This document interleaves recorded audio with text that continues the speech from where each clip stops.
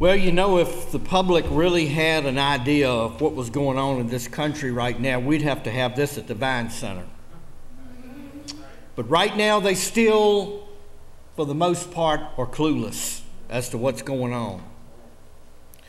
2,000 years ago, there was a politician, a Roman governor named Pontius Pilate, and he was more concerned with keeping his position than doing what was right.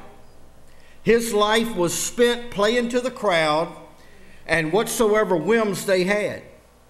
He was a man who was not given to absolutes. And in John chapter 18, Jesus was on trial before Pontius Pilate.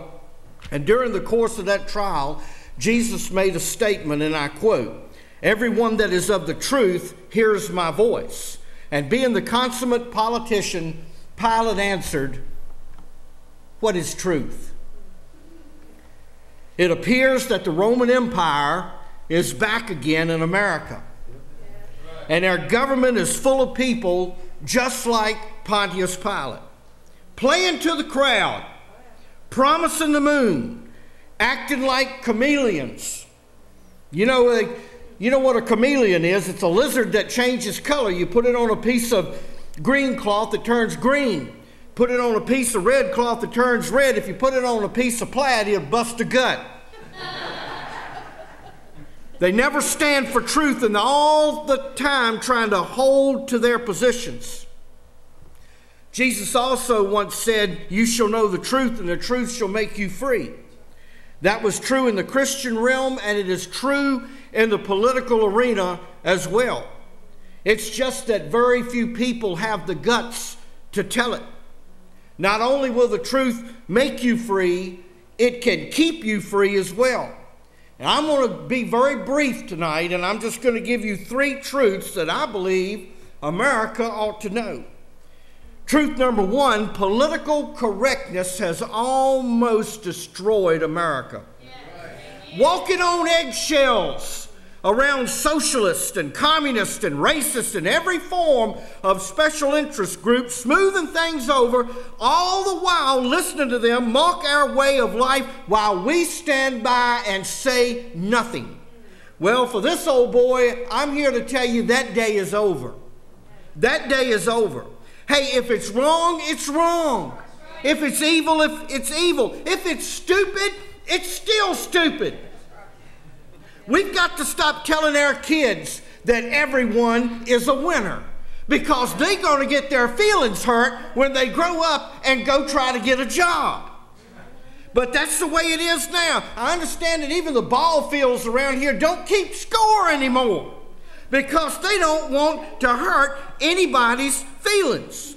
That destroys America's competitive spirit. That's one of the things that made America great was its competitive spirit. And about the only thing that America does now is we do service work. We don't make anything. And there's no competition anymore. We've got to stop telling our kids that no matter what horrible choices they make in life, that it's okay for them. No wonder they're out there protesting saying that I want everything that everyone else has. Well, if you do, go get a job. That's the way you get it. We've got to stop this all inclusive attitude where anything but Christians are welcome in the public arena. We need to start standing up on our hind legs and start calling things as they are. If they blow up buildings in America, they are terrorists. That's, can you say that? Terrorists. It don't hurt to say that, does it? And, and if they draw a gun at a military fort and start shooting soldiers, it is not workplace violence. They're terrorists. That's what they are. And if they want to destroy our way of life and institute their own laws, as far as I'm concerned, they are my enemy, and I hope they are yours too. Truth number two anyone who wishes to bypass or subvert the United States Constitution is our enemy. I don't care whether they're sitting in a cave over in the Middle East or they're sitting up in the Capitol building in Washington, D.C. When they are sworn to public office, they take an oath that they will uphold the Constitution and defend it against anyone who would destroy it, both foreign and domestic. Nowadays, we have more enemies of the Constitution here at home than we got overseas. We need to bring the soldiers here to defend us. We, yeah, we have a Supreme Court justice who said she would never use the United States Constitution as a model for any country. And I say to her, there's no anchor tied to your behind. There's a plane ready to take you to Cuba anytime you want to get on it. We've got a president, if you call it that, that believes the Constitution and Congress to be irrelevant and that he can rule by executive order, and there's that same plane waiting for him if he wants to get on it, and it ain't Air Force One.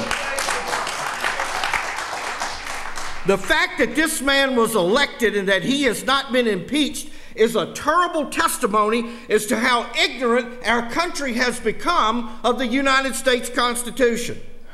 Our Constitution was written, and that history books won't tell you this, at least they won't now, but the Constitution was written after a two hour long prayer meeting, and it's been the longest lasting Constitution for a free nation in the history of this world.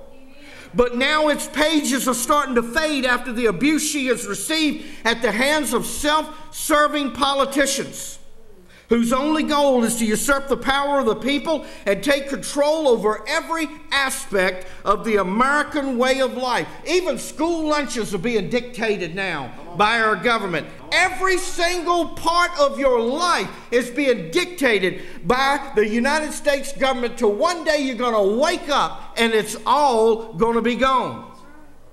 Maybe America needs another two hour prayer meeting and then have a few million march on Washington and take our country back and restore the Constitution where it belongs. We've got to remove these usurpers from office and vote out the career politicians and replace them with ordinary working people that have some common sense. Amen. I got to have some water after that one. Truth number three I told you I'm going to be brief. The work ethic must be restored. Hey, folks, in case anybody's wondering, manual labor is not the president of Mexico. My father will be 82 years old in May. And he came from a time when there were no handouts. His house was small. There was no electricity, there was no running water, no central heat, no air conditioning, no refrigerator. Yet nine people lived in that little house and they finally made it and went out on their own because my grandma had an anti poverty program. They worked. I've seen my father get up with a 102 degree fever, go and put chains on his truck, shovel snow in the driveway, and go to work. And I'd go, Daddy, why are you doing that? He said, Somebody's got to do it, and it's not going to get done if I don't go in there and do it. That is the real work ethic that made America great. That's the real thing. Now we've got people running around with cell phones, computers, SUVs, and designer clothes while they're on food stamps. And now nearly 40 million or more of our citizenry is on some sort of government assistance.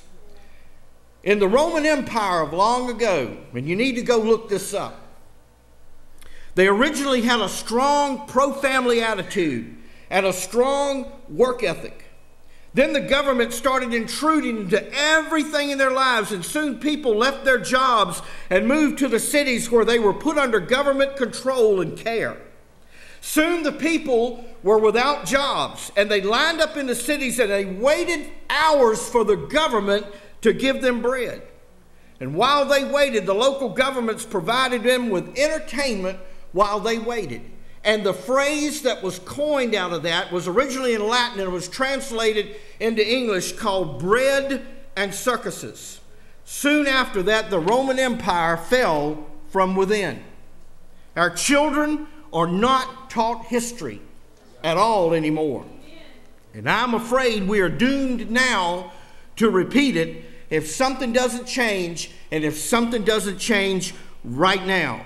Our people are dependent now on the government for everything. And we're quickly instituting the policy of bread and circuses in America. And just like Rome, we are soon going to run out of everybody else's money, and America is going to collapse from within if we don't stop it. May God help us to reinstitute the work ethic into our homes and into our schools and stop uh, looking to the government for our livelihood. Ronald Reagan once said, and I'll close with this government is not the solution, government is the problem. He was right then, and he's right now. And I say, God bless America and God save America. Thank you so much, and God bless you.